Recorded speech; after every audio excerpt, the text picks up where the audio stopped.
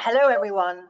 Uh, my name is Karina Urquhart and I'm the Executive Director at BIC and your host for this BIC brunch, uh, Making the Most of Thema, um, brought to you in collaboration with Editeur, the organisation that manages and develops the Thema standard. In today's session, we'll be hearing about how bookselling experts are making the most of this international subject classification scheme and how you can work with them to maximise the discoverability opportunities that this scheme affords. We'll also discuss what can be achieved by using Thema that can't be achieved by using BIC codes. and there'll be plenty of time um, at the end of the panel discussion um, for a Q&A session. So that's where we hand over to you, our audience. So some of you uh, may know that this is now the eighth uh, BIC webinar on the topic of Thema. And why have we done so many sessions on this topic, I hear you ask? Um, well, this is because the BIC standard subject category scheme, or BIC codes, as you probably know them, um, are being made obsolete at the end of February next year, so February 2024. Um, our Thema sessions were put on to help the in industry, the book industry transition um, through to that end of February date. Um, you can see the previous Thema sessions on screen there um, with their links, corresponding links to our YouTube channel. Uh, we have a, a, playlist section dedicated to Thema, so do go and have a look. They're all free to, to view. Um, and you'll also notice there um, that there's a, a, link to a set of operational FAQs, um, which is free to download um, to anyone do go and have a look at that. It's not about how do I classify X, Y, or Z uh, title. It's more along the lines of, you know, will ONIX still work if I'm not using BIC? What do I do if my service provider or my systems vendor um, isn't yet um, using Thema, etc. So that those those sort of more nuts and bolts questions. So do go and have a look, help yourself. Um, we've got one Thema one more Thema training session um, before the end of February deadline, and that's on the 16th of January. And you can book that through the link there, um, or you can go onto our uh, website and have a look at the training area there.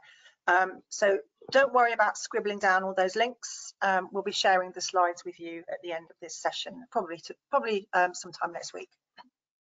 And if you are using Twitter or X, um, I don't know what to call it these days, X, um, then you can mm-hmm. see the, the hashtag and the uh, our address there at the bottom of the screen. So before we get going, just some housekeeping. Um, we're going to invite questions at the end of the panel discussion, so please use the question box. You, you should all have a, a little toolbox on your screen, so there'll be a question box there. Use that, pop your question in. Um, don't wait, you don't have to wait till the end of the panel discussion to use that that box. So as questions occur to you, just, just submit them. If we've already answered the question, which we might as we go through, then obviously I, won't, I won't ask the question again. Um, the event's being recorded um, so that we can use it in our marketing and also to let people that weren't able to attend today um, have a look at the session. You might also want to refer back to it um, later on um, for your own references. And finally, just a gentle reminder that BIC is a neutral membership organisation and as such we politely ask that all attendees and all speakers strictly avoid any comments, conversations or questions that might be considered commercially sensitive or indeed anti-competitive. So what are we doing today? So here's the running order, quite straightforward. Um, I'll finish in a minute and then I'll hand over to our panel to, um, to, to facilitate their discussion. Then we'll have a Q&A session around about one-ish and we'll wrap up at 1.30. Um, I'll just talk, introduce our speakers very quickly. I won't ask them, I'll, I'll, ask them later on to talk a little bit more about themselves, but we have Adam Hewson from Hewson Books, Simon Pallant from Gardners, uh, Juana Maria Ruiz Martinez from Amazon, Chris Saynor from Editeur, and Kieran Smith from Blackwells and Wordery, but we'll hear more from them in a minute. Um, so just very quickly, BIC, who are we? I'm sure there's some of you on the on the uh, on the call now who know exactly who we are, but there may be some of you who don't. Um, so for those who don't, We're a UK-based, not-for-profit members organisation operating at the heart of the book industry. We create standards, best practices and resources um, that many, if not most of your organisations will probably already be using. We help your organisations become more efficient, um, save money, become less wasteful and ultimately, hopefully, greener. We hold a unique position of trust, facilitating UK and international industry-wide collaboration to reach agreement on dependable standards and best practice in the supply chain. We do this in a variety of ways, including running five strategic committees, um, focusing on metadata, libraries, physical, digital and green supply chains, we offer training, events and workshops and execute supply chain related projects for and on behalf of not only our membership, but also the wider book industry. We also operate three industry recognised accreditation schemes, but go and find out more um, on our website um, if, if you would like to find out what else we do. There's loads of free resources on there as well, lots, lots of interesting areas to go and have a look at. Um, but back to the purpose of today's session. As already mentioned, today's panelists will be sharing um, expert hints, tips and advice on how Thema is used by booksellers, what they need but aren't getting, and quick wins. Um, and also we'll be having a look at what the future might hold. Um, we've got a lot to cover off today, so I, I'm not going to talk anymore. I'm just going to hand over right now um, to the panel to introduce themselves one by one. Um, so as I call them out, hopefully they'll put their cameras on so we can we can see them. Um, so let's start then with Adam Hewson, owner of Hewson Books. Right, hello, I'm Adam Hewson. I'm at Hewson Books. Uh, we're two, soon to be three independent booksellers in West London. Um, so I'm the owner of that. I've been involved with BIC for a few years now and been bookselling for decades. Thank you, Adam. And um, next on my list, I have Simon Pallant from Gardners. Morning, Simon. Or afternoon. Hi, yeah. so, uh, yeah, so I'm Simon Pallant. I'm the uh, Digital and Data Services Manager for, for Gardners. Uh, I look after and have done for a number of years a variety of uh, IT related um, um, services at, uh, at Gardners, but uh, uh, relevant to this call, uh, I look after all things to do with data either coming in, use of within the company, or, or ultimately uh, going out to our customers. Lovely, thank you. And then next I have um, Juana Ruiz Martinez from Amazon. I hope I'm pronouncing your name properly. Yes, hi, I'm Juana, Juana Ruiz. I work at Amazon. I'm an ontologist here based in Dublin. And in my team, among other stuff, we create the left navigation structures that you can see in Amazon. So those nodes have some rules in place that allow uh, books, in this case, to be classified. And for classifying the books, we use uh, thema codes. So we create assignment queries, and an essential part of the queries are thema classification codes. Lovely, thank you. Um, and then we have Chris Saynor from Editeur. Hello, um, thank you. So I'm Chris Saynor. I work for Editeur. So Editeur is the organization that um, uh, maintains and supports uh, Thema along with ONIX. Um, there. Dr. Gonzalez. Great.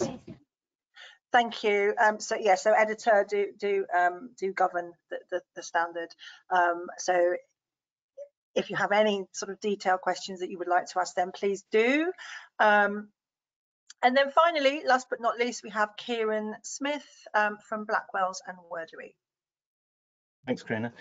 Um, yeah, currently I look after blackwells.co.uk and wordery.com, which are quite different book selling sites and have different customer bases. So that in itself is quite interesting when it look, looking at um, biblio data. But I've been selling books online since 1999.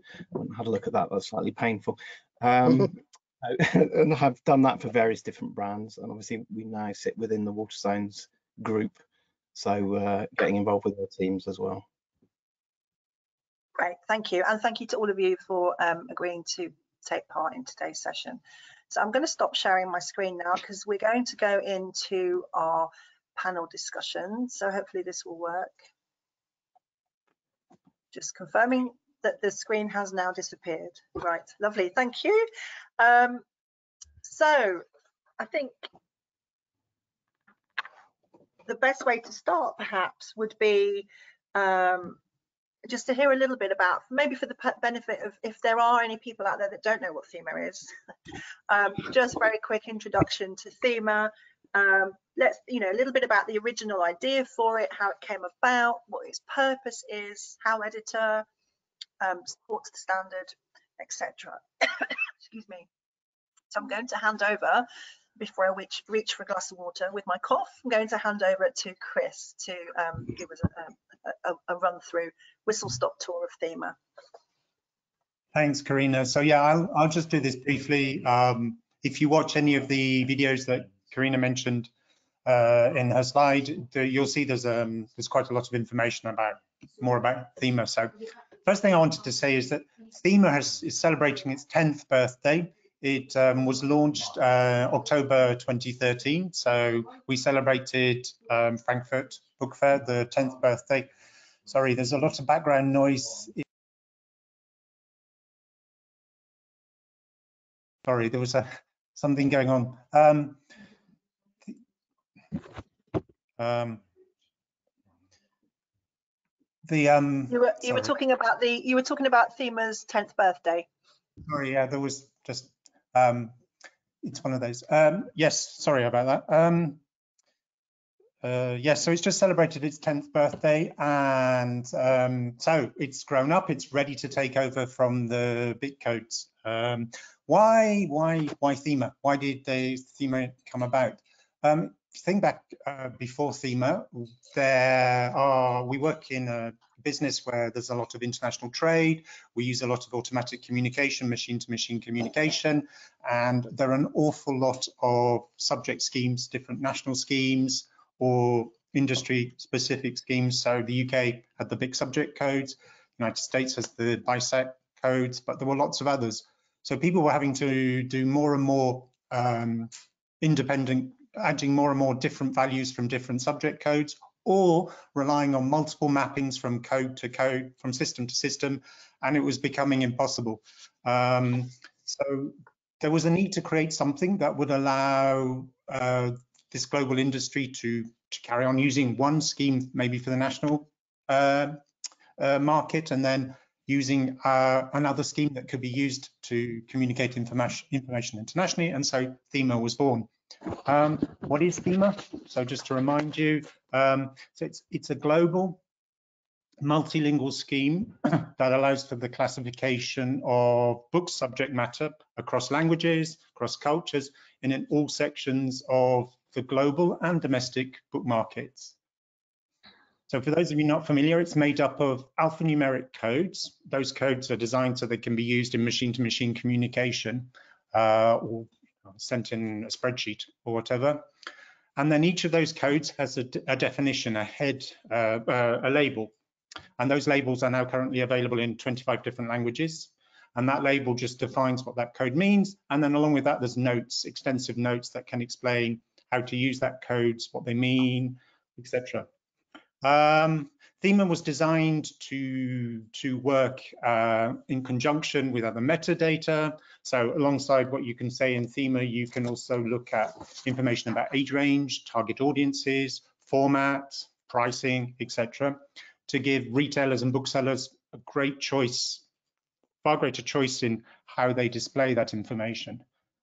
Um, Thema is not like some of you may be familiar with the US system BISAC. BISAC is a system of predefined shelf labels. So somebody's already decided in advance, this is what it's called. Thema works on the assumption we're going to tell you what the book's about.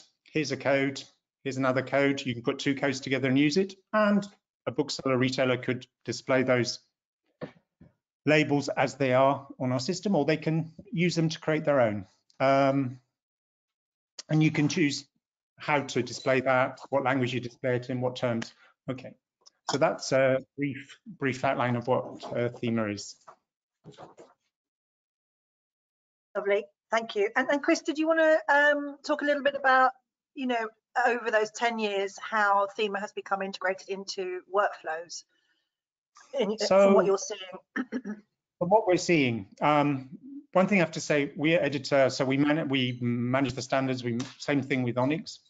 We see these things, but we don't always know what how people are actually using them. So don't Yeah. always have full access to that. But what we've definitely seen over the last 10 years is um, that we are seeing more and more companies, more and more organizations uh, in different parts of the world asking questions about Thema or downloading the documentation that we have. Translations, the first version of Thema was available in four languages. We're now at 25. Um, so we're seeing that. We're also seeing more and more companies making um, Thema part of their metadata workflow, going for a Thema first workflow. So no longer relying on the code. If you companies working with the US market are doing a Thema and BISAC, uh, we're hearing that from companies are doing a Thema and BISAC natively classifying their titles um, to make use of both systems. So it seems to be becoming more and more integrated into the workflow. Um, there was a very interesting presentation, um, which is available on our website, that was done at our edited as a, a seminar at Frankfurt, and Bloomsbury uh, did a presentation, and it's very interesting to see a big academic company how they've integrated Thema into their workflow. So that can be found on our site. And they're just one example of a company that's um, uh, how they've integrated that into their workflow. Great, thank you. Um, I'm just wondering in, in terms of sort of getting into the detail of the workflow, let's maybe we should ask our, our, our booksellers here. I'm thinking I'm, I'm thinking of going to Adam first. To, to from your end, Adam, as a, as a as a bookseller, what are you what are you seeing in terms of integration into workflows? Yeah, I think that uh, we've got quite an interesting thing that Thema is ultimately for the end user is the bookseller and be it online or physical and and the customer, the ultimate end users of those. But for probably most independent booksellers, and I'm certain if I went to a high street uh, chain that if I were to ask the booksellers there, most don't really think about Thema from day to day. It's this sort of little unsung hero that goes behind the scene that is completely integrated into what we do, but we never really think about it. Right. And the reason for that is the fact that we generally work off our um, uh, computer EPOS systems to book in books and to say where they are in the shop, or we're using a data provider like Nielsen or BDS or Amazon or Edelweiss or anyone else to look up books for customers. And then we see the the words rather than the codes. So if we look at a book on Nielsen, we're, we're more likely to see the words. Um, so we'll know that this is a music book or musicians or uh, history of pop or whatever, rather than the little individual codes. So, so we don't really think about Thema every day, even Right. though it's in, integral to what we do. Um, but when you say you see the words, do you? What does that mean? Do you see the do you see Well- the thema word thema words, or do you have The- an internal um, so, translation? So on uh, on if, if we're to look at the the BDS or uh, Nielsen or whatever, we will see the the, the thema code uh, qualifier names or Right. subject names, and they'll Right. they'll be in thema format. Okay. we don't we don't see the thema codes and, and, and numbers. Um, Yep. However, we then map those on to our own system because obviously, if you think about all the different uh, medical uh, thema codes there are, we just bung them all into health. You, You know, don't if- have a if- if- shelf for each one, then, Adam. Needless to say, we don't. You know, it's uh, and and you know, uh, different um, booksellers will have a different things. We have a couple of shelves of music. Some uh, smaller bookshop won't have any music at all, and they would keep their music books in possibly biography if it's a David Bowie book or Kate Bush or something like that. Britney Spears Yeah. just go straight into biography and wouldn't think about putting in music. So we need to be able to map it using thema codes, mapping through our EPOS systems to, to work that way. And that's why there is one very critical thing for publishers is the fact that we only map on the primary code, the very first code. So if it is, if, if Britney Spears is classified as music, it will go into music. If that's the first code, if it's the first code is biography, it will go into biography uh, as the primary code because our EPOS systems can only cope with one. When we look up on on Gardners or whatever, it will give me all the the different codes. So so when we're investigating for a customer, we we rarely we use our EPOS system to find out if we've got it and it, where it is in the shop. If a, for a customer inquiry, we would go on to Gardners or go on to Nielsen or go on to BDS or go on to Edelweiss and then see all the, the thema codes. And that's where we could look up children's books on bullying, which obviously we don't map bullying to that huge section in the shop. Yeah. You know, you know that qualifier would we, we would never have a bullying section. It would just be we know that these 10 titles because Thema helps us find them uh, on that subject. Yep. Okay, thank you. Um, I think it might be quite a nice idea to sort of talk about Thema now and then spend a bit of the session talking about Thema, what it might look like and what it might be able to do in the future. um, so what I'd like to understand from, from this group is what's the current situation with regards to the quality of the uh, the data that you're all receiving um, and what are any if it's not as maybe robust as you would prefer what are the quick wins or what are the quick fixes um, and what are publishers not doing that they could be doing and vice versa well if there, if there is a vice versa um, maybe there is what are they doing that they shouldn't be doing Um, so I'm just thinking who to start with on that one. Maybe um, Adam again. Just pick on Adam, Dave. it is pick on me. no, uh, for the most part, I think it is very good. Um, there are certain things that you know, well, actually, it's often ahead of the game. So when we went to the new um, uh, version of Thema, there were a lot of extra categories. Really, there are categories on that now? I didn't think that was a thing yet. so, you know, it's it's often very good at finding categories ahead of the time. What isn't always good is publishers using those categories yet. So you might find some of these new categories only have three books in them right now, because whether they retrospectively map previous titles into it, we don't know. Um, again, I'll stress the the making sure the first code used is the better code, the best code that can be. Um, please don't use gift books as as a code, a primary code. Every book can be given as a gift. It's as simple as that. So it's not really a helpful thing to say this is a gift book. Um, uh, and age ranging we find is a real challenge as, as part of the qualifiers to make sure the books are age range. That's very, very useful. The age ranging is, it's not that specific. It's usually from three to five or seven to nine, which is good. That's fine because we know that there isn't such a thing as a book that's suitable for every single eight year old. But to have something is really, really useful because what we have to do is if there isn't an age range, we just map everything to one age group. And, and that's not helpful for anybody. Um, so do use the qualifiers. The qualifiers are incredibly helpful for us. Um, yeah, so I think that's probably probably my concerns with it. Yeah, are you? What are you finding in sort of if you could put a percentage on it? What would you say in terms of you know titles that come with qualifiers and those that don't? Oh, that's a tough question. I'd probably say about 20% seem to come with qualifiers. Oh, okay. So there's Yeah. quite a lot of quite a lot Yeah. of work to be done by the sounds of it then. Now, I, I do something different for, for not every independent, but a lot of independent, because I run a website that I populate myself. I look at these every time I put books on.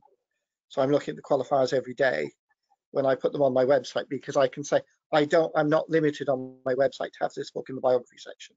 I can have it in 10 different sections. And if I Oh. want to say it's 17th century Greece, I can have it qualified as 17th century and Greece, and and that's fantastic. But more often than not, I look through a publisher's list and there's only six or seven books out of 20 that have uh, qualifiers on them. Right. A- Age ranging is a difference. So if I look at children's books, that's probably probably the better. When publishers do it, they're really good at it. Yeah, yeah. Um, without naming specific publishers, there are some excellent children's publishers out there that really go on that. Okay. Great.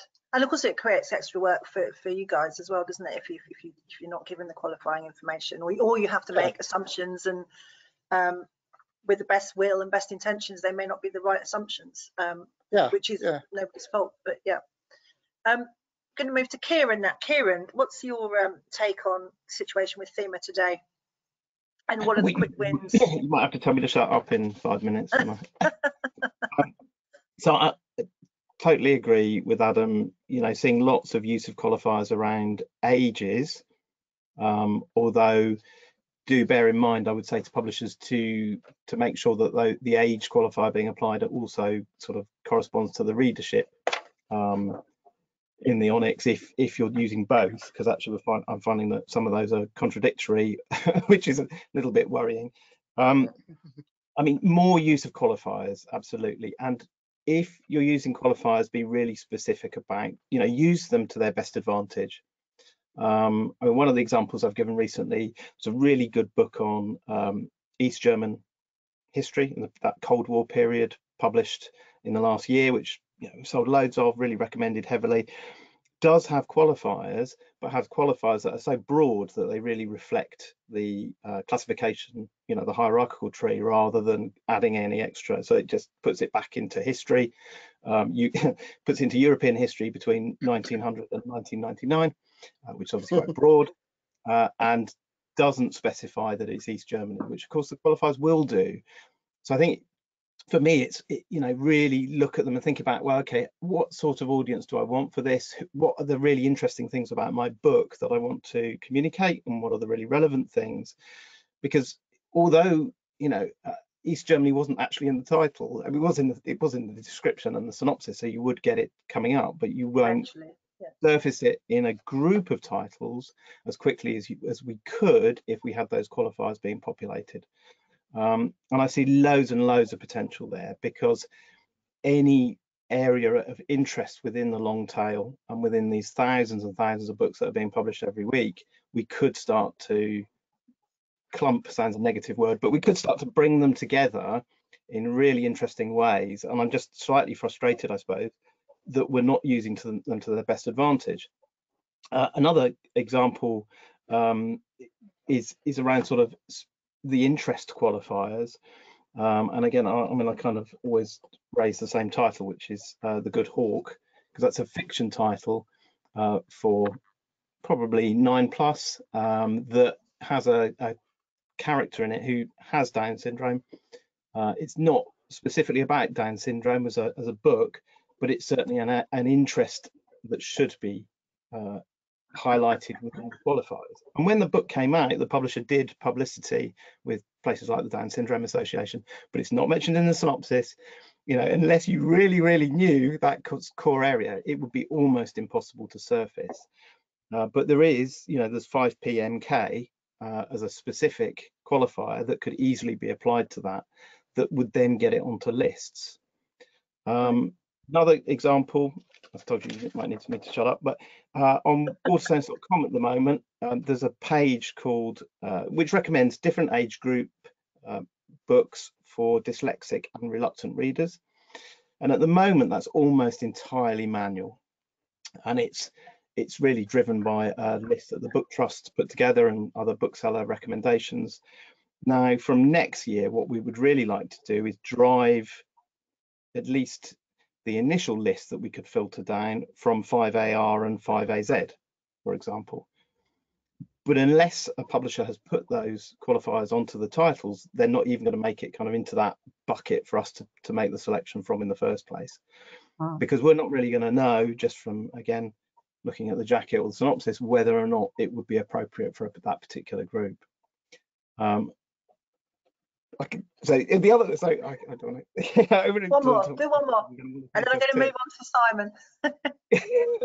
well, one other one I just noticed in the bookseller um, update today. So the cent the Centre for Literacy and Primary Education talked about the rise in diversity representation in children's books, and we are always getting asked by schools for recommended lists for particular areas of representation. I mean, it, it said in that article this morning it's up to 30%. Now, if I look, I, what I did is I looked at some of the example titles in there. And actually the first one, which I'm not going to mention the title or the publisher, but it's a big publisher. Uh, and the first book that's really, it's a really great book we've sold loads of, really great diversity um, representation in it. It had 15 subject codes and one qualifier, which was just the age. Uh, now, interestingly, of those 15 subject codes, and this is a book for nine plus, seven of which were adult fiction ones, in order to try and hit the diversity, which means it ends up in completely the wrong bookcases. Were we to, this is kind of why Adam's got that problem saying, well, let's just Yeah. take the first Well, one. he'll, he'll take the first one. Yeah. Exactly, because which, which would have at least put it within um, children's fiction. Uh, but otherwise, you know, if I start to try and work out, well, it could also sit online within adult diversity fiction, it ends up looking very weird and sitting next Mm. to some very, very different books, which is completely not right. But had we got that qualifier in there, again, keeps it in the That's right classification structure, in the right, right part of the tree, uh, but gives us those extra elements to um, to actually get it to the right audience. Yeah. Okay, brilliant. Thanks, Kieran. Some really helpful tips there or advice even. Um, Simon, your thoughts on the state of the nation at the moment with regards to Thema and any, um, what, what are you seeing and what are your sort of, what would your advice, hints and tips for quick wins be? Sure. Yeah, thank you. So I suppose that I have a slightly different perspective um, in many respects. I'm, I'm aggregating data to, to maintain a, a large books catalogue um, uh, for, for a wholesaler and also um, its customers. Um, we're dealing with thousands of, of publishers and distributors and, and uh, a collection of other data aggregators as well massive, massive data churn going on um, every single day. And in, in many respects, as, as Adam was uh, alluding to a little earlier, the, the you Thema is a, um, an unsung hero behind the scenes, and um, it's a, a collection of data elements uh, sweeping their way through the uh, the systems and ultimately heading out in our, our feeds to customers. And so the, the biggest challenge for us is actually um, receiving uh, Thema um, data in the first place. Um, really good take up um, from publishers and distributors within the UK and also Europe uh, in terms of providing Thema natively. Um, less so, although gradually growing from, from US um, sources. Um, and you know, if, if we look at our two million line books catalogue, um, in terms of um, receiving native theme, thema data, so native as in directly from the publisher, it's around about 40% of um, that catalogue. We have to then, in the background, because of that um, uh, shortfall, um, undertake a mapping exercise. Um, and generally, we have BIC um, for everything else, and we convert from BIC to thema in order to fill those gaps and maintain a solid thema supply to uh, all of our services and, and through our data feeds. So the the uh, the big thing for me is actually increasing that native um, uh, thema supply from from our data suppliers. It is a wonderful global system, um, as as Chris was saying. It has multi-language support, which is you know incredibly useful. Mm. Um, and um, we just need to uh, uh, get more of that data coming through the, uh, the, the supply chain. Okay, so that's a, a call to action really, isn't it? To, to your organisations that are providing you with that data to, to really start to use Thema where they're not currently doing so. Exactly. Okay, thank you. And then last but not least on this question, I'd like to go to Juana. Um, Juana, what do you what do you say with the sort of common mistakes that you're seeing? What would be your advice for sort of quick, quick and easy things to correct those mistakes? Um, and uh, talk a little bit about best practices, um, perhaps um, when when adding classification codes to books. Yeah, uh, well, first of all, I would like to say that we started to implement Thema in 2016, and since then we have been increasingly implementing it in all marketplaces. And currently, in our 23, I think we have now marketplaces, there, there is Thema as one of the main assignment method. The other one is BISAC. So we have these two main assignment methods. One is BISAC and the other is Thema. And we don't actively maintain any other schemas except for JP where we maintain some NDC9. So uh, there's no point on adding BIC anymore. Um, that is important. We have still some legacy queries that are based on BIC, we are trying to replace those as well. And it is rare that we have a, a BIC without a thema alternative. So um, that's one thing. Also, Qualifiers, yes, we use them in our, in our queries as well. It's the main way of classifying stuff in specific countries, ages, and uh, time periods. So qualifiers are essential. One thing that this probably only applies to Amazon is that we have, uh, well, the, if you have ever sent any uh, listing or anything to Amazon, you might have noticed that we have something called subject code. That is the attribute for the code. So we use that attribute for all the schemas that we have. And then there is a type where you need to specify if you are sending a BISAC, a thema code, a thema qualifier. What we receive sometimes are thema codes with different uh, types. So we cannot do anything with that. And overall qualifiers, sometimes we receive them as with the type thema code. So just be careful when you select the, um, the type because uh, if it's not valid, we cannot do anything, anything with that. And also there's no need on adding a specific, so a general code and a specific code, just be as specific as possible because we already have something in place that will assign asins to any node that has an, a general code, even if you added a specific code. So it, that's it's uh, the best practice is always to have um, books assigned to the most specific um, code that you can find. There is also no point on adding 9, 10, or many classification codes because there is a cut there. So add the best classification codes if you want the book to be classified in, in the node.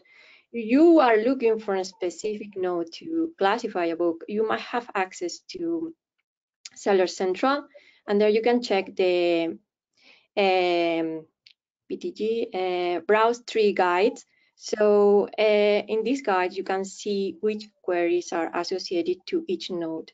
That is not essential, to be honest. If just add the best thema that you can find, but if you need a guide, that is where you can find the, the guide. Also, if you want to assign your book to a specific node, the best way of doing it is just to looking at the node and looking at the thema because that is how we create the queries. We associate the semantically most close concept to that we can find to that thema code. Uh, and I think that's that's it. Uh, so yeah. we have a lot of TI nodes as well. So if you have diversity and inclusion books, be sure of adding those to the to the books. So it, sounds like you're saying accuracy and um, detail. Yes.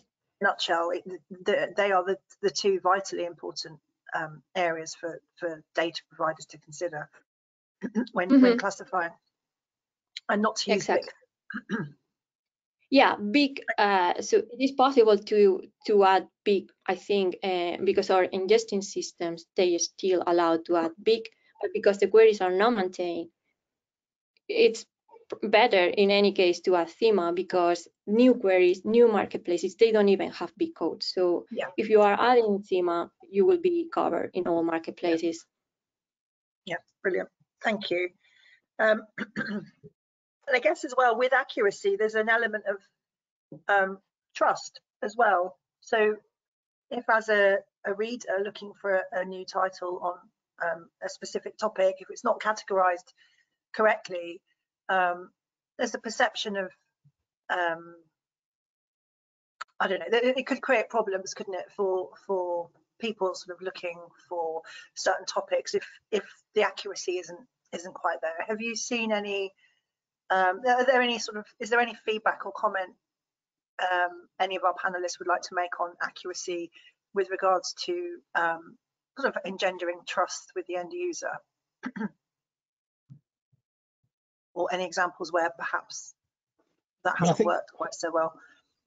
I, I, think sometimes it's it's kind of lack of, or, or there's a, a, fear of kind of narrowing down a title to a specific you know the more specific, specific. you come is there that fear that you're kind of putting yourself in a niche that, that yeah. nobody's going to find it for other reasons so i think there is a tendency sometimes to go really broad really general um, another example i was looking at recently was um, again a, a, really good book that we've sold a lot of so it's not stopped it selling um, but uh, of kind of usability um, for um, design home appliances and equipment for those with additional needs. Um, but it was put actually in such a high art classification that it was basically just art. Um, yeah. That that puts it in a in a pot of I don't know how many tens of thousands of books, and that um, you know initially that sounds like okay, well I might re reach quite a big audience, but actually I think for those who want to narrow it down and say I'm I'm really interested in design for those with additional needs, it would it, it, you know that kind of feel the fear and, and go for it i think because yeah. actually it's still going to be within that broader milieu um, yeah. but for those browsing to a specific area you're going to you're going to actually convert more people from that i think yeah and you you may you may miss your perfect audience. Well completely. definitely. Yeah, yeah. yeah absolutely. Yeah okay. Um so we've talked about sort of quick wins and, and advice that we can we can give, um, and we're hearing about accuracy, uh, detail, um, etc. The um, are we finding that the what what's happening in the US? Are we finding that the US are encouraging the use of Thema? What what's what's happening over there. Chris, did you want to talk a bit about that? I can start, but the others may have points of view. So the, there is support for Thema, official support for Thema in the US. Your uh, sister organization, BISG in the United States, yes. is very supportive of Thema. Um, there are uh, publishers that uh, that trade internationally in the US that are adding uh, Thema codes. Um, but there is a also a tendency for some publishers just to see BISAC because they only look at the United States as a market and don't think about the international side of trade. Coming back to that question of accuracy, it's unfortunate because the best thing you can do at a publisher is get the person who knows the book best to do the classification. If you then rely on your distributor in Europe or in Latin America or in Australia to try and work out which code to put in, they're going to lose out on on the accuracy of the person who knows it, or if you rely on a mapping from BISAC to Thema, um, you're going to lose out as well because they're two totally different schemes, and so you get you don't get it. But there is a growing awareness. Um, Canada is another market that um, uses BISAC a lot, but would like to use Thema more, but uh, isn't getting it. it, it um, when it comes to the United States and BISAC and Thema, Thema sits really well next to, to, to, to, to BISAC. It gives possibilities for retailers in the US and outside the US to, to add that extra level of detail. That, let's pass on to if anyone else has got. Yeah, does anybody else want to make any observations? For us, BISAC is still the, the main classification scheme by far in US but we find sometimes gaps that BISAC cannot cover because we have global trees and sometimes there are nodes that are relevant in some parts of the world that might not be as relevant in US, but we put them there anyway. And also thema is usually more granular. So there are example of, of nodes that have a thema and don't have a, a BISAC because there's no equivalent BISAC that happens as well in, in US. So even if the BISAC code is still essential in US, it's also worth it to add a theme code because you might get a better classification for, for the book. Yeah, Good we point. find that we find that when we're dealing with um, uh, organizations that uh, import American books to us, that it's very hard to get um, classification and we have to classify those manually because they don't come across with uh, thema codes. They sometimes come across with BIC, BIC codes. Um, it's not not all American publishers. If what, what we find is American publishers that have UK offices, they tend Yeah. to have somebody who's done the work for us which which is excellent. But it's it's some of the d- distributors that bring over dozens of small publishers, or sometimes medium-sized American publishers that haven't been picked up by major people that we just don't. We have to classify those manually. Um, Simon, Kieran, anything else to add on this before we move on? I I mean, I was just going to say, I think we see a definite split between trade and academic. Um, so actually, academic publishers in the US being pretty good on that front. Um, and you know, either looking at using Thema or, or giving us effective mappings, um, so we're able to to do that. But trade publishing, much less so. in fact, to such a degree, I, I don't. I mean, I don't know the American market perhaps as, as well as some of my colleagues here, but um, it, it, almost just nothing there. you know, not even not even a, a BISAC code that we could map. Just literally nothing. So I, I think I don't know whether it's certain publishers or or what, but uh, yes, there's some um, there's some uh, uh, sort of promotional work needed. I think in the US would be my suggestion on that front, and it can lead just rather than the discover. It's, not so much an issue around discoverability on that side. It gives us some work, but actually can lead to problems in terms of physically shipping the books because for some markets we need to know what type of book it is uh, due to various you know, Mm. international challenges around that. Um, No, and I, tend to echo um, that as well. The the uh, the, the big trade, uh, multinational trade um, publishers um, uh, certainly are, are very good at supplying uh, Thema, but there's a, a quick quick drop away um, after that, and then it picks up with the uh, academic um, sectors and in particular the university presses uh, in the US, which are generally um, fairly good. Um, but it's that it's that middle ground there um, that um, uh, hopefully is improving, um, but uh, has a way to go. Okay. Thank you. Um, I'm just looking at the time. We, we seem to be, the clock seems to be ticking very quickly. Um, I thought we had more time. So in the interest of time, uh, I'd like to move on now to talk about the future. So where do we think Thema's going? What do we think the capabilities of Thema might be? Or what do we think um, organizations could be using Thema for in the future? Um, so you know, are we using, as an industry, are we using thema data enough? Um, what else? How can we maximize it? So, Kieran, did, did you want to talk a little bit about um, the use of qualifiers and what people need to think about in terms of structure, hierarchy, and how they might use the, this, the scheme in different ways to perhaps than they I'll give it a go. Give it a go. Um, I, I mean, I, I'm continue to drone on about Thema given any opportunity because I, I do think it's really exciting. Um, even 10 years in, I think I think we we have yet to sort of tap into its potential um, to even a tiniest percent. And I think although we're coming to this kind of we're coming to the sunset of BIC, kind of conceptually, I think as an industry we still think in very structured, Mm. hierarchical trees. And I think the market's moved on. I think customers don't shop books in that way. Uh, I think there are so many things that the qualifiers would enable customers to discover, so many different themes within books or so many different kind of aspects so that, we, we haven't even anticipated.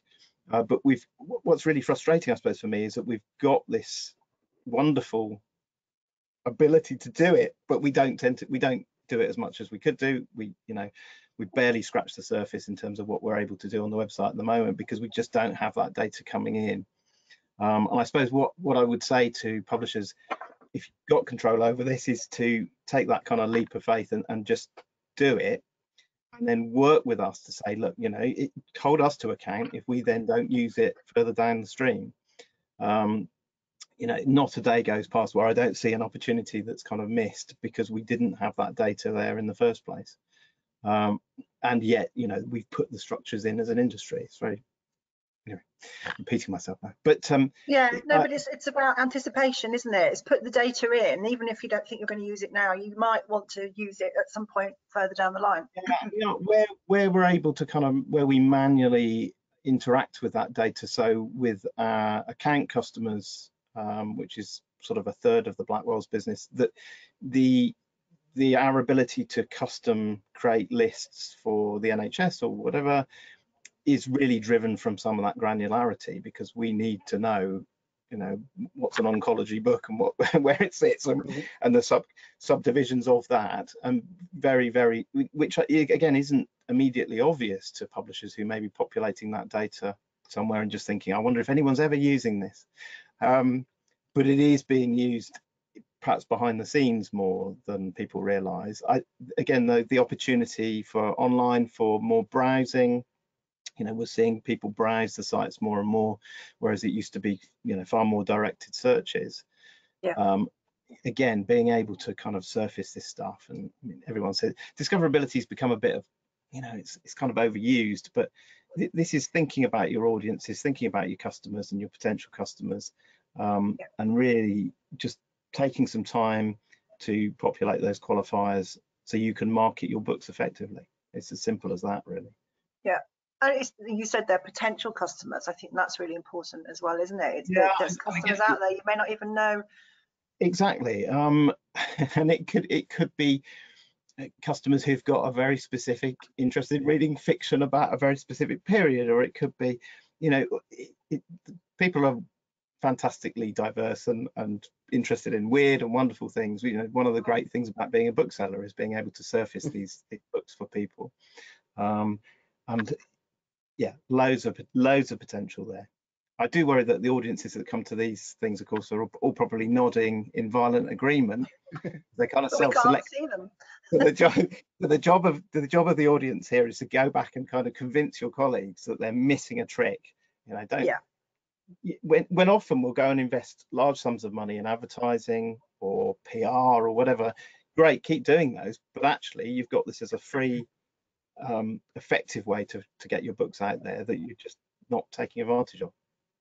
Yeah, free and has uh, long legs, has longevity to it as well. It's um, Absolutely does. you know, Absolutely. it's always there. Yeah. Um, thank you. Um, can I add something to that? Yes, of course you can. Yeah. Yes. I, I think that um, just sounding old and cranking and say we want this very simple. Think about the first um, code that you use. I don't think it should be forgotten that the beauty of the way Thema works is that you can be complex with that mm. and you can use all those qualifiers are, do, are, doing that. So one of the the bonkers new ones that, that came up was um, I've looked it up. It's the uh, romance for the famous, the rich and the powerful that I didn't think was a subject before. Now, if, I, if something gets qualified as that, our old systems are quite happy to just put that in the romance section, the fiction section. So if that's used as the primary uh, thing, that's best. That's the perfect thing to do because we'll still pick on that. It doesn't go into the ether. It doesn't go in some strange place. That's the beauty of the way Thema works is that it is that you can be specific as long as you're not putting it in gift, please. yes, yes. I've written that down. Um, so any any other thoughts for anybody else on uh, from uh, you know what we think Thema can be doing in the future? What about um, what about I'm going to go there. What about AI? Um, can AI be taught anything with regards to Thema?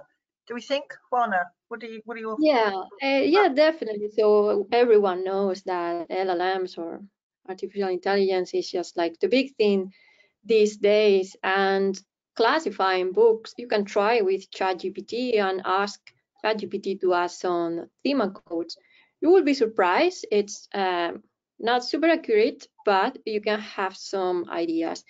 But in apart from that, just having the correct metadata into books, that definitely will help to train, even if you want to, it will help to train um, artificial intelligence behind. So it will get more and more accurate and just having raw metadata in your book won't be helpful for you because it won't be taken by by the artificial intelligence in the right way and i think more and more artificial intelligence will be integrated in big companies like well like amazon for sure and and everybody's uh, life actually so there is a future there for yeah.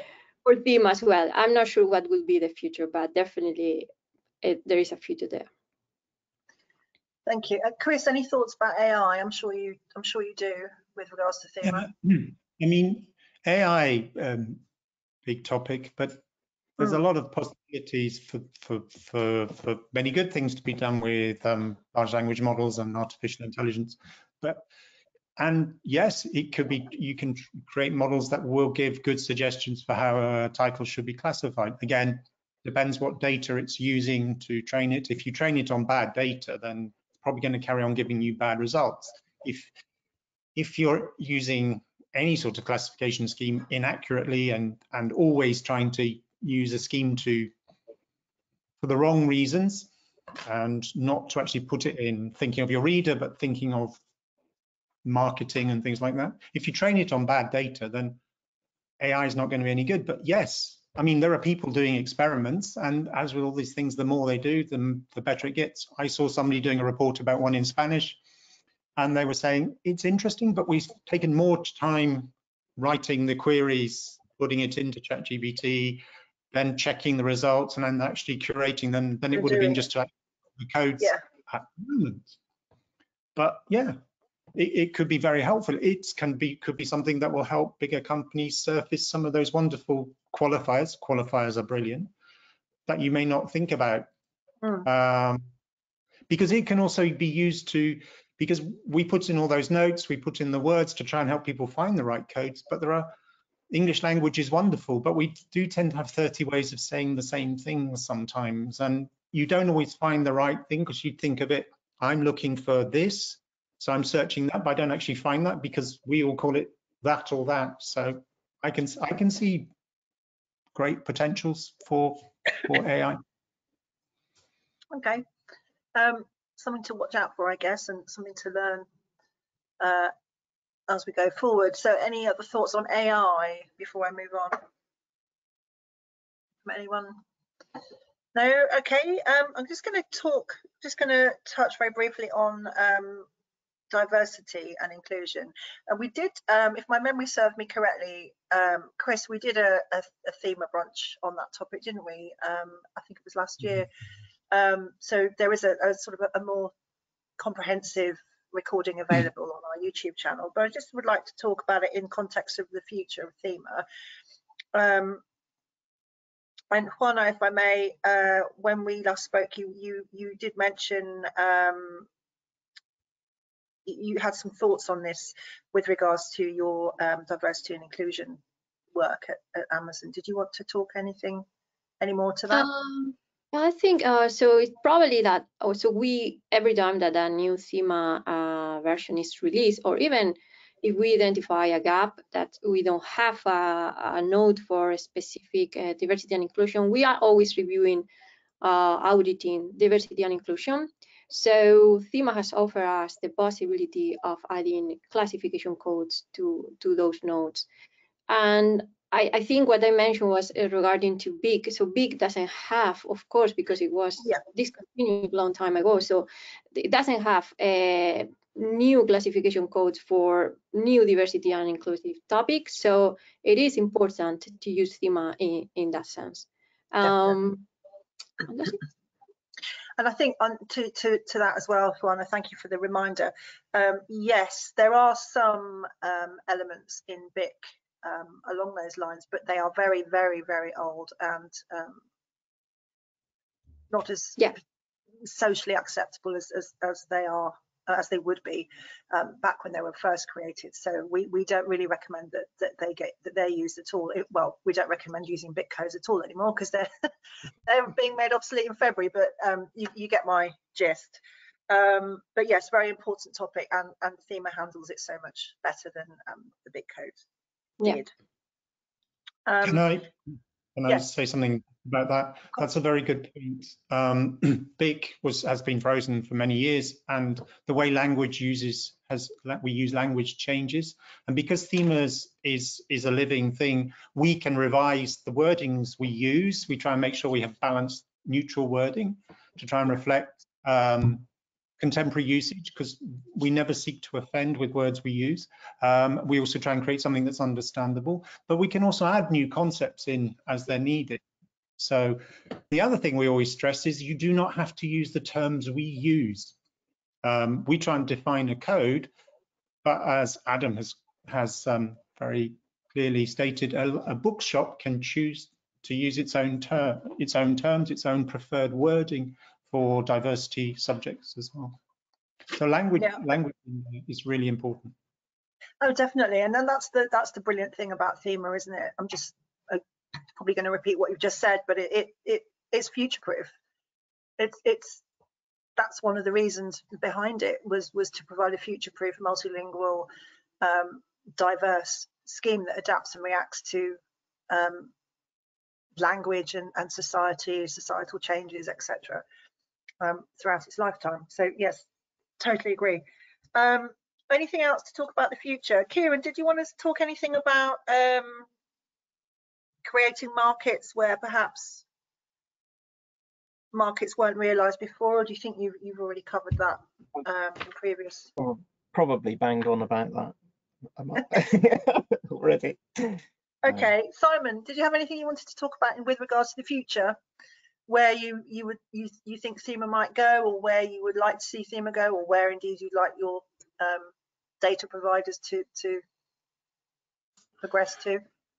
Um, not specifically. I mean, the the um, you know, the, the, I would sort of hark back to the fact that you know, Thema is a is a truly valuable. Um, so it is a global service. It's hugely popular with our um, customer base uh, uh, globally.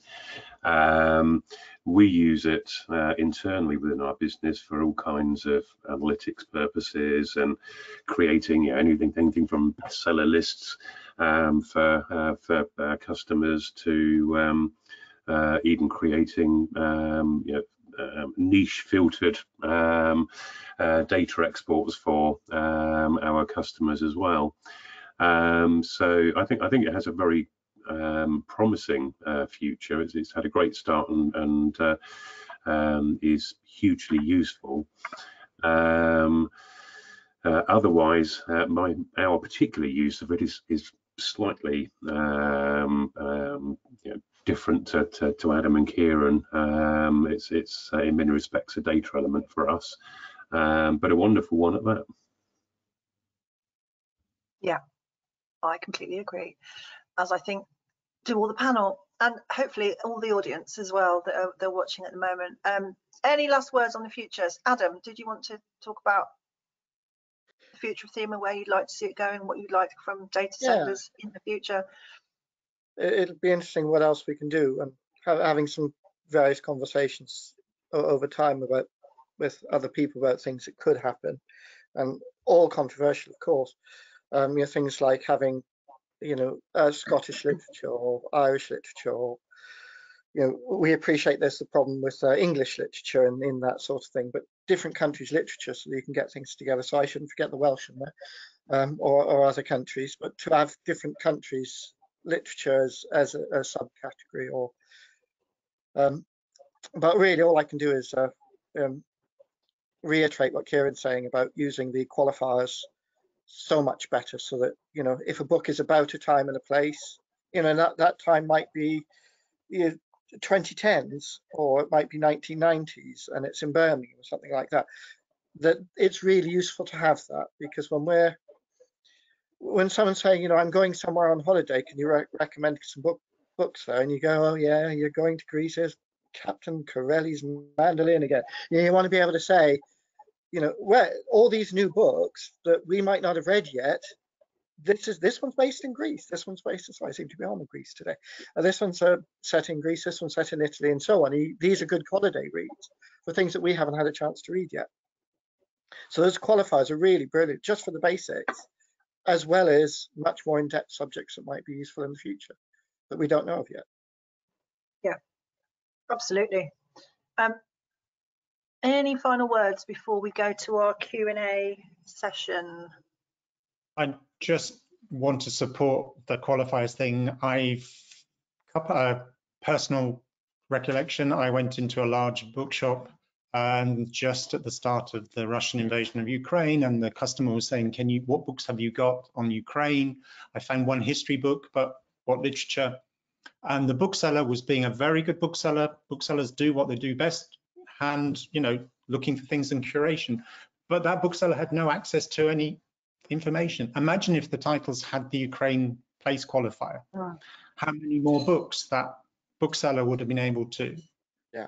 And I, another one I heard a, um, I was doing investigations looking for example titles about diversity and inclusion, and I went into a bookshop and the bookseller, I asked uh, for some recommendations uh, in the children's section. She said, well, we keep a list at the till, at the cash desk, we write out, when we come across titles, we write them out. I wish publishers would tell us this. I wish there was a way publishers could tell us this information. Obviously, as a bookseller, as Adam says, booksellers aren't always aware of the word thema, but it's there. Yeah. There's a potential to sell far more books. That's the basic thing. You can give more information, sell more books. Yeah, absolutely.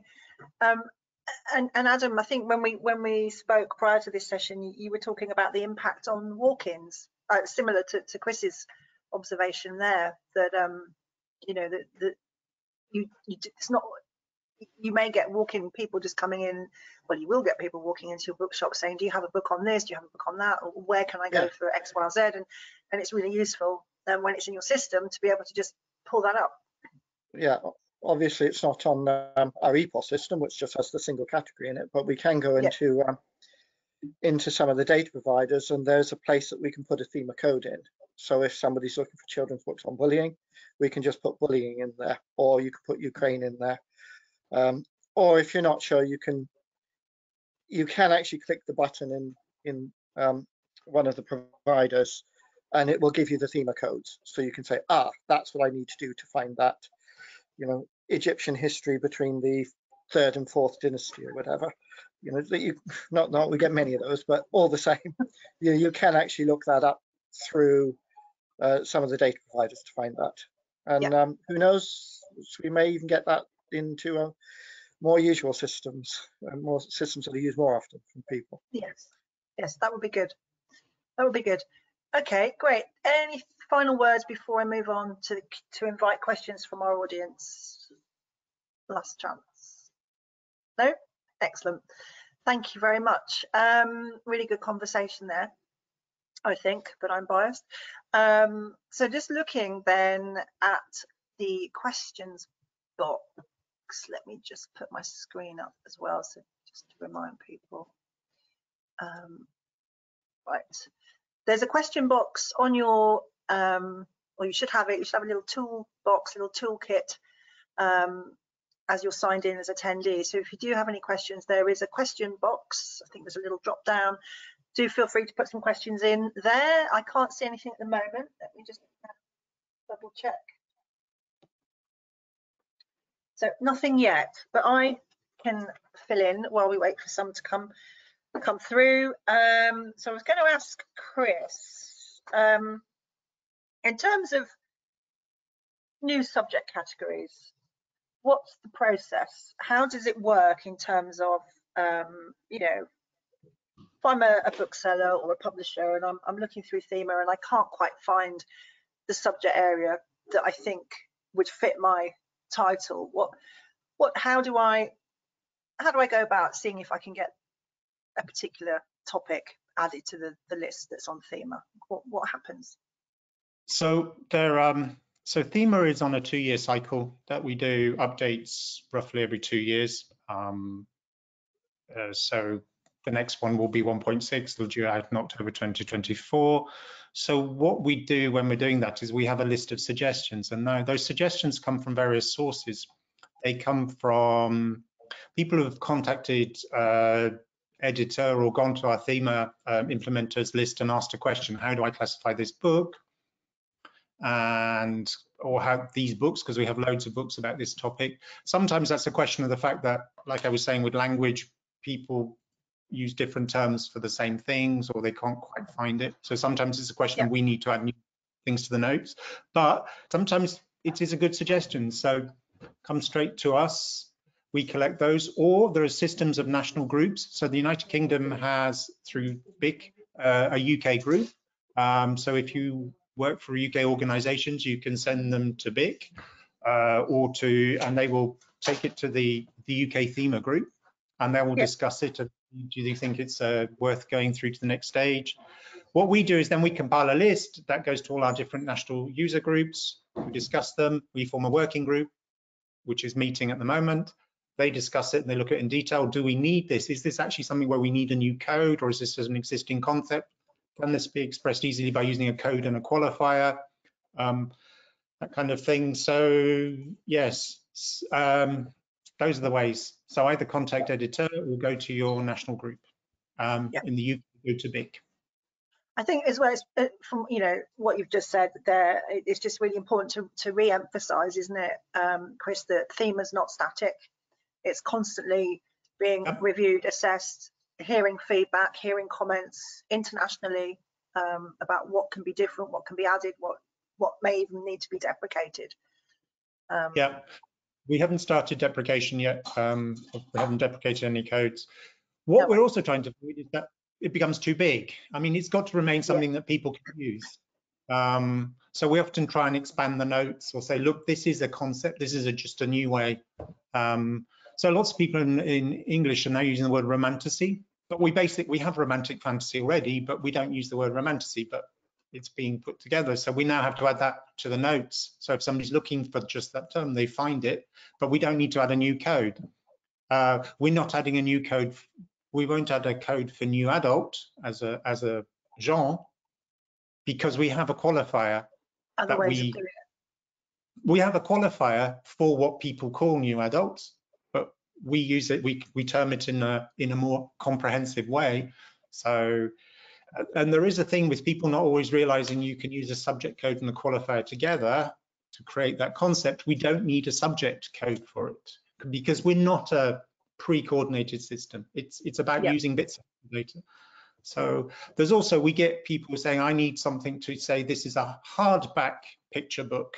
Uh, no, that doesn't go in Thema, that goes in ONIX or something else. So we also try and um, weed out the the obvious things, but but Yeah. um, the, the thing I'd encourage people to do, do is to join the Thema implementers list and ask the question to the Thema user groups, the wider Thema community, can get the discussion going. Because what's interesting to know is, is this just one publisher with a book, or are there loads of books coming out about this topic in different parts of the world?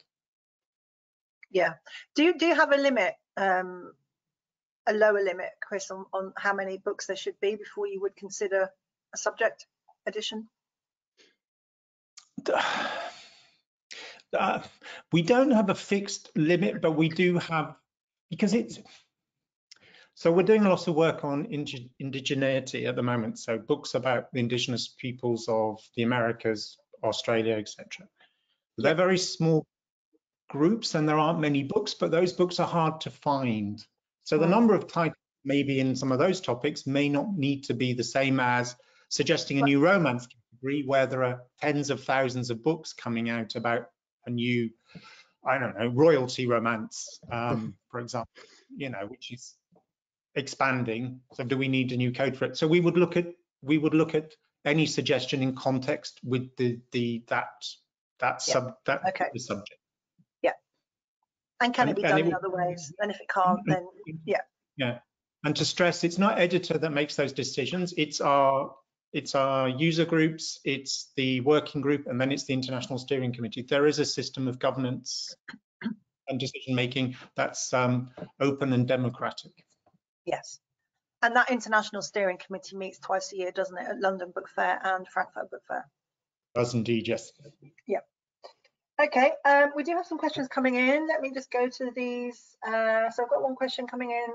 Uh, in our company, we always use, we're always advised to have the first thema code to be as broad as possible, containing only the general discipline, for example, linguist, linguistics, and then follow it with more specific uh, ones. Um, uh, would it be more advisable then for the first code to be as specific as possible with classifiers?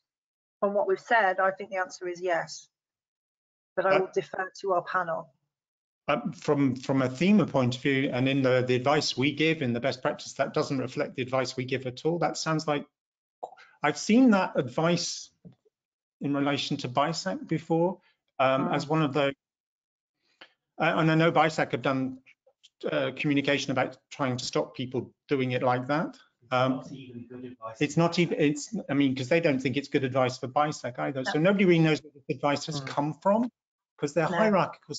Um, uh, as Juana pointed out, their algorithms can automatically will do the necessary to put it in a, in a higher thing. So can I just say diplomatically, that's really poor advice. I would go, you've got to look for the, the, the most appropriate code should be the main subject. As Adam Yes. said, you know, they're going to use the main subject. Choose the most appropriate code.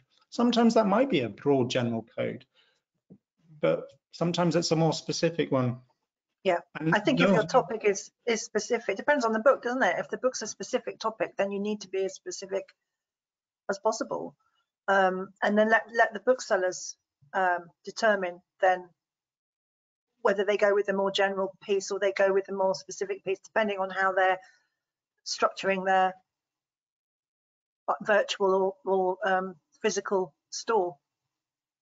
Don't forget that Thema is designed as a structure, as a code structure with hierarchy so that you can cut it back. So Adam Mhm. pointed out, they don't have a medical section, you know, uh, whereas Kieran said they need that detail. Yeah. So Kieran Blackwells is going to look for the detailed detailed code and which is what the publisher should be putting in but adam's going to make the decision if they have any titles that start that have an m code they're just going to go in one health section Yeah. but that's You've cut that. You've cut the options, haven't you? You've cut the options Yeah. for any other interpretation. But Adam knows they're all medical because all codes start with it, medical codes start with M. So he knows that they're there. You do not need to put the M code in as well. Yeah, that, that's absolutely right. Yeah, and the some of the more technical things we can say, well, all of these go into reference or science or whatever, except for these few agriculture books which we might put into nature. So we can pick the one category out of the full um, uh, first one or two letter list. We can take Yeah. two or three of the big ones and move that to another category if we want. So, and, and for independent book selling, we're going to be using the mapping that's either Edelweiss gives us or Gardlink gives us or Bert- Bertline gives us or whatever. We're, not writing that ourselves. So somebody else has done that for us. Um, obviously for chains and other, other booksellers, they'll, they'll do it a different way. But we have to have that simple system that you know, the mapping is incredibly simple. We just have to decide ourselves at the beginning. And if we don't know, we just put everything that starts with M goes into, in my case, health. Nice and easy. Yeah. But if you cut So if you that- cut the detail out, you you Yeah. cut your limit you limit your options, don't you? If you take if you don't put the detail in. And it, if if you can have sort of two or three subjects, you know, let's go to this crazy um, rich, famous, and powerful romance thing. That's just going to go into my fiction section. But it it's a well, it's also it's got some witches in it, so you can put you know supernatural fiction in it as well as a second subject. Hmm. But if you feel that you have to have fiction as the first subject, romance as the second subject, uh, third subject is rich, famous, and powerful romance. You're using up all your options, and you end up with 20 different uh, categories because you're using the top level. Yeah, Yeah. I think that the secret is to provide as much as you can so that different booksellers, because different booksellers will have different requirements um, Yeah. and different levels of detail and different shelves and different organisation of their stores. Um, I think it's just important to give them as much information as you can so that they, they can make the choice. um, anything else on that? I've got one more question that's come through. Um, anybody wants to comment on the one we've just Can I- had? Can I just clarify something you said, Karina? When you said you what you meant was provide as much accurate information as you can, not as many codes as you can. Oh no, sorry, as much accurate Yeah, yeah. information I know, what you meant. I know what you Yeah. meant. I just wanted to make Yeah, sure yeah. it's clear. for Because the um, avoidance of doubt. Yes. I think you showed us in um, a German example on raising hens. Somebody had added 174 thema codes on Okay. raising uh, raising hens. That's so accuracy. Yeah, because I think we said what we say about Oh, Kieran, I think we've have we lost you? You've frozen. Come back to you when you unfreeze. Um, should I just go on to the next question while we wait to Kieran to unfreeze himself? Um, somebody's asking, could you please explain how BISAC and THEMA differ apart from BISAC being US based and THEMA being global? Um, again, I think it comes down to specifics, doesn't it? But I, I So BISAC is specifically created for the US book trade. It's what's called a pre-coordinated scheme, which means that you have a code that's put together in advance, and basically they have re they have created your shelf label for you. So with a BISAC code, uh, you say this book goes in this this section of the bookshop. So that's what it's done. There's no there's no notion of, of if you use this BISAC code and this BISAC code, you're creating greater meaning. You're just saying, I think you can put it on this shelf or this shelf. Thema is designed to be to work.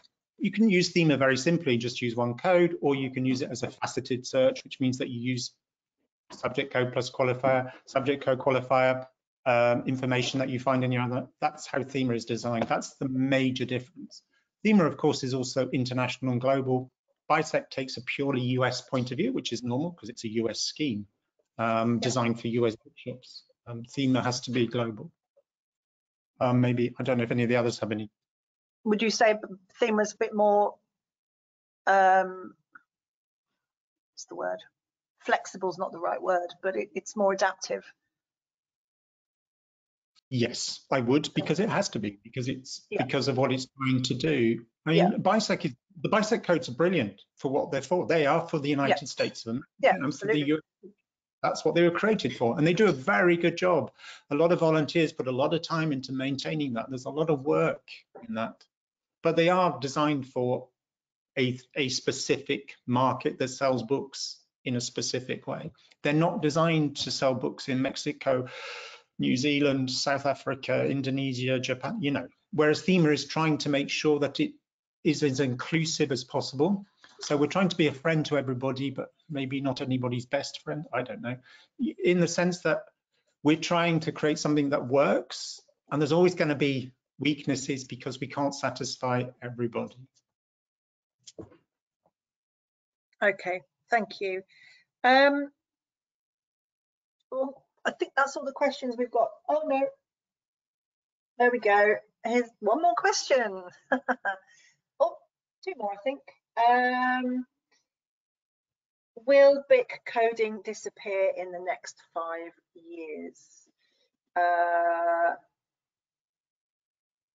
I was, yeah, do you think BIC coding will disappear in the next five years? Um, if that means will BIC codes disappear, that we are removing all reference to them at the end of February. There'll be nothing on our website. There'll be no help or support given with regards to any BIC code queries or anything like that. Um, as for coding, um, if you mean people still using BIC codes, I suspect that may still happen but it's not something that BIC or um, Editeur would support uh, because they're out of date. They're, I think, 10, 12, maybe more years out of date. They're not current. They can't do, as we've just heard, they can't do um, anywhere near as much um, work that, that the Thema codes can do. Um, and I think you, it would be a limit on discoverability to only use the BIC codes or even just to continue using them. Um, Chris, what do you think? Um, they, they, you know, they'll, they're, they're codes. They, they were structured They codes. They'll remain in the system, systems and things like. I think any B- organization that's using resources uh, on BIC uh, by the end of 2024, you know, you should be questioning how you use your resources. If you if you're still putting resource into classifying using the BIC codes, and as Karina says, they haven't been updated since 2010, so they're they're dated but they won't go away. They'll be in, you know, they'll they'll be in, in legacy data and things Yeah. like that, and people will be able to consult them. But I would not, I would say companies should not be using resources on on BIC subject codes after February.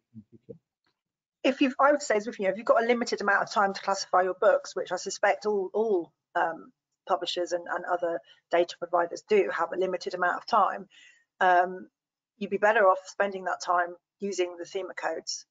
Um, I, I wouldn't spend time on reclassifying anything with a with a BIC code. Um, would be my ideal recommendation. Obviously, you know, some trading partners aren't yet there with thema codes. Some will still need BIC codes, and, and that's down to sort of individual trading partner relationships to to discuss. But um, yeah, I think if you if you're time poor, opt for the thema code. Definitely. I would say if, if you have trading partners that are clinging on to the old BIC codes, fine, but don't waste resources. Talk to a technical team and just put into place an automatic backward mapping. There's a Yeah. very good mapping from back to BIC. And then they could be added into your metadata, but don't don't don't spend time on them. You don't need to clean them out. You don't have to remove them from your No. data if they're already there, unless you get a specific request from one of your trade partners. But The operational um, the operational FAQs um, answer quite a few of those types of queries. You know, will ONIX still work? What if my trading partner doesn't want to or isn't yet ready for thema codes, etc., etc. So do have a look at the the operational FAQs on the BIC website. They're free. Don't have to be a BIC member. Um, just go and help yourself, download them, and have a look. And hopefully your question will be covered off. Um, I just have a a question as well. How are um, UK regional uh, subject categories or uh, qualifiers um, arrived at? What are they? What are they based on? That's the question that's we've had ahead of this session. is that for me again? Probably, Um, yes.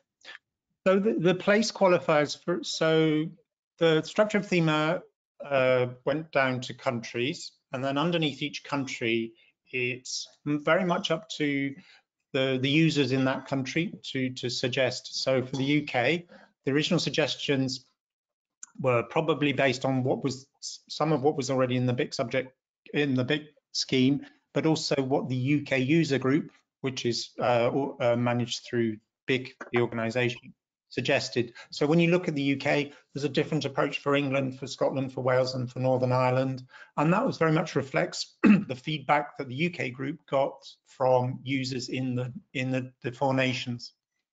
Um, so they it's it's it's undergone some updates as new as things have been added, but I think it's it sort of reflects how general bookshops probably reflects how general bookshops um, divide their books in the UK. And that's the same. So when you look at you look at another country, it's divided up into a completely different way, but that reflects how people think of their book selling in that country. Yeah. So that's how place qualifies. And again, if there are things that are missing, if there's suddenly loads of books on, oh, um, I don't know, if there's suddenly loads of books on the Isle of Sheppey, for example, I think it may be in a note, but there isn't a subject, but there isn't a qualifier for that. You know, again, go contact the UK thema group and say, look, we think you need to suggest a new place qualifier for this. Okay. Thank you. But, Um, but can I just say that Thema is not a gazetteer. We're not trying to cover everywhere. It's it's things where there are books. It's about books.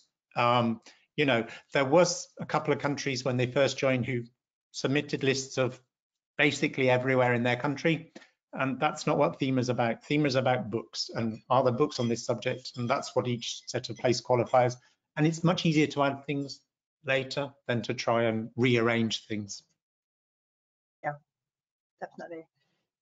Um, okay. Just wondering if I should ask this question. Um, if if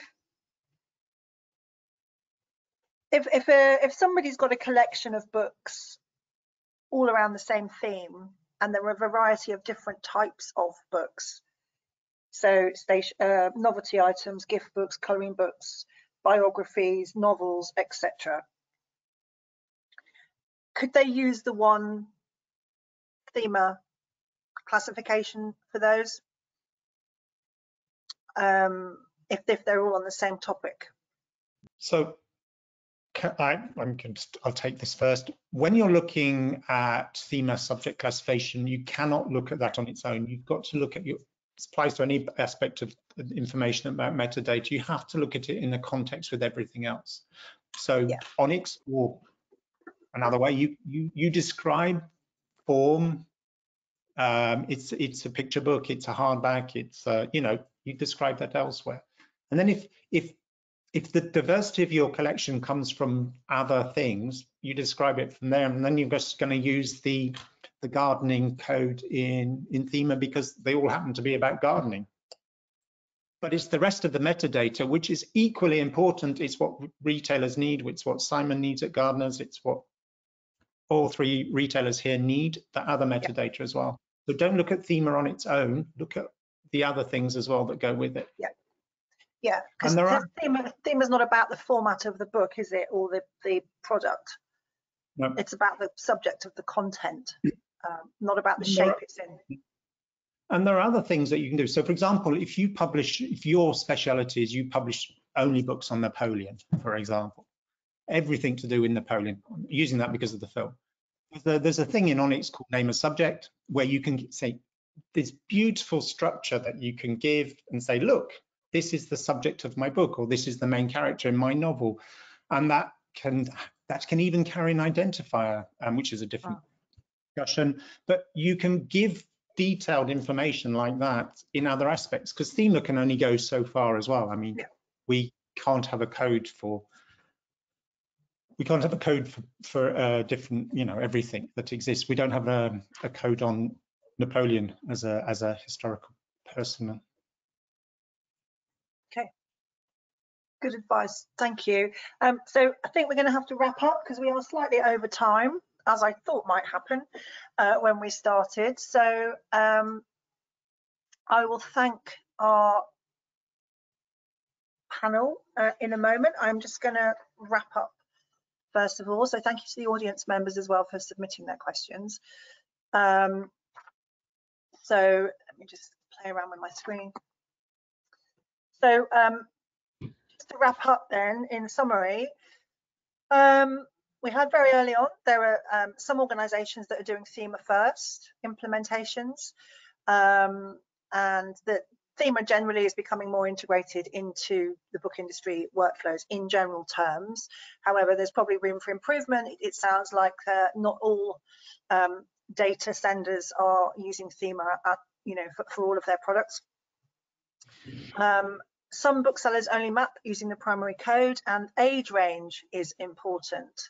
Um, We've heard today that Thema could be used more proactively and extensively, um, particularly using qualifiers. Um, I think that, that, that, probably one of the main themes from, from today's session is, is all about the qualifiers, um, particularly for long tail niche backlist as well. Um, and we've heard about how, how using the, the qualifiers um, in a meaningful way can actually help raise the level of discoverability um, and can really get the, the, you know long tail backlist moving. Um, and you can really you know, get into specific targeting um, there using that level of information. Um, I think we've heard as well, we'll agree that the, the booksellers find the qualifiers exceptionally helpful, so please do use them. Um, Thema can definitely help curate um, for diversity, equity and inclusion content um, and can really help with that discoverability. um, and again, just to sort of keep repeating, um, be as specific as possible when classifying, um, not only with the, the codes, uh, but, but with the qualifiers. And in terms of the future, what we're seeing is, you know, we heard from Kieran there that, that, customers are browsing and exploring content in different ways than perhaps 10 years ago or even five years ago. Um, and will con con continue to do so. And, and that behavior will, will probably change again over time. Um, we're not any, we're no longer looking at siloed searching. Um, and it's granularity of data and classification that will be key both well both now and and in the future um, I think it's important to, to, stress that you know put the data in. If you know the data put it in now. You may not have a use for it today but it may become invaluable um, in the future. And we've heard more generally about how responsive adapt and adaptable the thema scheme is, that it can flex and react and adapt to language and societal changes and it's future proof basically. So um, and, it, and I think I can't remember who said it. I think it was Adam. It's a hidden gem um, it's working away in the background um, and can provide a longer longer term source of um, information and uh, sort of background information. And and you can you can create new lists your marketing lists and and, and really explore um, your catalog uh, most effectively by, by using Thema in, in ways perhaps that you haven't thought of before. So um, just before we go I would like to thank our panel today um, just get my notes so I'd just like to, to thank everyone, thank the, the, attendees for coming. I'm sorry we, we ran over um, over time, but I think it was it was worth doing. Um, so stay in touch if you would like to find out more about what we're up to at BIC. Um, you can join our mailing list. You don't have to be a member to join the mailing list. Um, you can stay up to date with events, training, workshops, more uh, more BIC brunches, etc and other things. Um, there are two BIC Bites on Thema on our website. These are just two sides of A4, just short papers um, looking at Thema. One is like an introduction to Thema, and the second one is more of a, a, a Thema for booksellers. So do have a look at that. Um, and then again, the, a reminder of the operational FAQs um, at, the, at, the, bottom of the, the screen there. so um, thank you to our to all of our speakers. Um, so thank you for your time today. Thank you for your preparation and everything else, um, including the, the technical uh, session we had this morning. So thank you for your, your time um, for that as well. Um, I don't think I've got anything else to say. If you would like to follow us on Twitter, there's our hashtag um, and also our address on Twitter for those of you still using it and go to our website. All the information that I've referred to today can be found on there as well. So um, once again, thank you to Adam, Simon, Kieran, Chris and Juana and hope to see you at a future BIC event sometime soon. So that's the end of today's session. So thank you everyone. Bye-bye. Thank you. Thank Bye. you. Bye.